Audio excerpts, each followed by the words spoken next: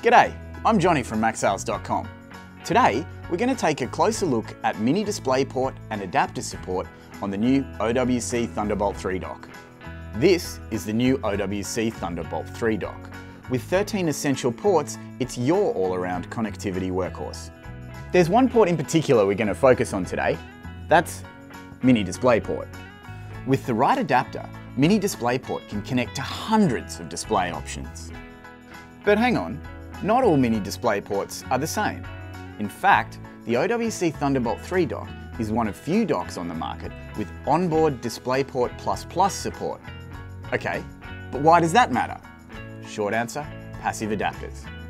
Because of Apple's long-term support for passive mini DisplayPort over the years, most of the adapters on the market are passive.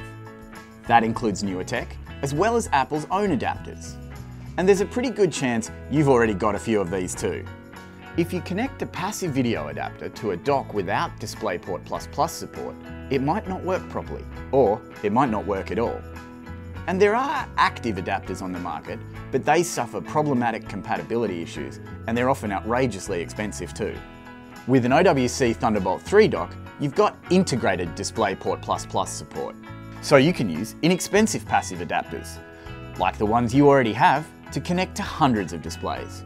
Just another one of the endless possibilities delivered by the OWC Thunderbolt 3 dock.